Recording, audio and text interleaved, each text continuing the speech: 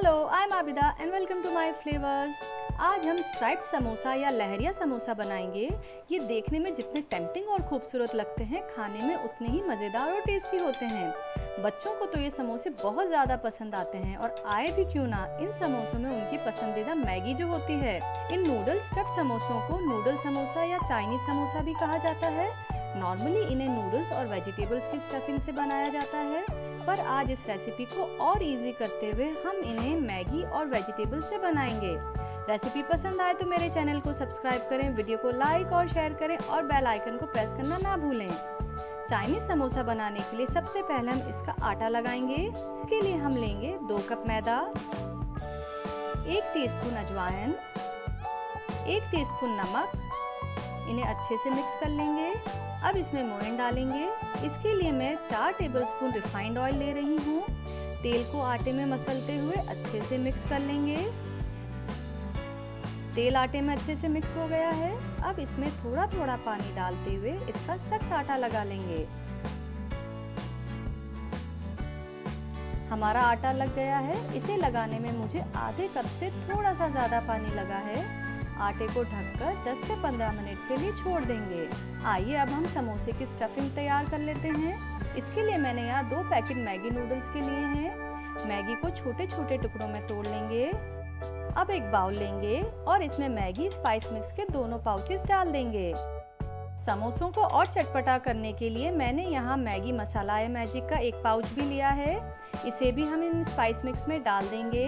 अगर आप समोसों को कम स्पाइसी रखना चाहते हैं तो आप इसको आधा ही लें। और अगर आपके पास मसाला या मैजिक का पैकेट नहीं है तो आप इसकी जगह लाल मिर्च का पाउडर भी डाल सकते हैं। सभी मसालों को अच्छे से मिक्स कर लेंगे। तो ये हमारा स्टफिंग का स्पाइस मिक्स तैयार हो गया है। अब एक पैन में एक से दो टेबलस्पून तेल गर्म करेंगे। रेसिपी में यूज़ किए गए सभी इंग्रेडिएंट्स को मेजरिंग स्पून और कप से मेजर किया गया है। तेल जब गर्म हो जाए तो इसमें वन फोर्थ कप बारीक कटी हुई गाजर, बारीक कटी हुई शिमला मिर्च और बारीक कटी हुई पत्ता गोभी डाल देंगे। सभी सब्जियों को लगभग आधे मिनट तक पकाएँगे। अब इसमें तैयार करा हुआ स्पाइस मिक्स डाल देंगे। इसे भी मिक्स कर लेंगे और साथ ही इसमें डेढ़ कप पानी डाल देंगे। पानी हमें प्रिस्क्राइब्ड अमाउंट का आधा ही लेना है, क्योंकि चाइनीज़ समोसे के लिए हमें मैगी खिली खिली चाहिए। पानी में उबाल आने का इंतज़ार नहीं करेंगे और इसमें नूडल्स अभी ही डाल देंगे। नूडल्स को पानी में अच्छे से मिक्स कर लेंगे और अब पानी में बॉयल आने देंगे। जब पानी में उबाल आ जाए तो आँच को कम कर देंगे और पानी टूटने तक इसे पकाएँगे। देखिए हमारी मैगी पक गई है, इसका सारा पानी सूख गया है और इसका तेल भी छूटने लगा है। ध्यान रखिए, अगर मैगी गीली रहेगी तो समोसे नरम बनेंगे। इसीलिए हमें स्टफिंग के लिए मैगी इसी तरह की बनानी है। गैस बंद कर देंगे और मैगी को ठंडा होने देंगे। मैगी बिल्कुल ठंडी हो गई है, इसे एक बार मिक्स कर लेंगे जिससे कि चिपके हुए नूडल्स भी खिल जाएँ। इसे साइड में कर देते हैं और अब समोसे बनाना शुरू करते हैं। आटे को एक बार अच्छे से मसल लेंगे। और इसे छोटे छोटे पोर्शंस में तोड़ लेंगे। इतने आटे से लगभग 10 से 12 स्ट्राइप समोसे बनेंगे। आटे का एक पोर्शन लेंगे और बाकी के आटे को ढककर रख देंगे। आटे की गोल लोई बना लेंगे और इसे बेलन से पतला बेल लेंगे। आपको इसे परफेक्ट राउंड सर्कल देने की ज़रूरत नहीं है और ना ही इसे बेलने के लिए आपको तेल या सूखा आटा लेने की ज़रूरत है। रोटी को सेंटर से इक्वली कट कर लेंगे। स्टाइप समोसा बनाने के लिए एक सेमी सर्कल पर हम इस तरह से कट्स लगाएँगे। आपको ध्यान यह रखना है कि कट्स किनारों से एक सेंटीमीटर छोड़कर लगाएँ और कट्स को आपको एक एक सेंटीमीटर की दूरी पर लगाना है। कट्स लगे हुए पोर्शन पर हल्का सा पानी लगाएँगे और दूसरे प्लेन पोर्शन को उठाकर इस पर रख देंगे। दोनों पोर्शंस को हल्का सा प्रेस कर देंगे, जिससे कि ये आपस में चिपक जाएँ। किनारों पर हल्का सा पानी लगा लेंगे। और इन सेमी सर्कल्स को धीरे से उठाकर इस तरह से कोन बना लेंगे। जॉइंट को प्रेस कर लेंगे।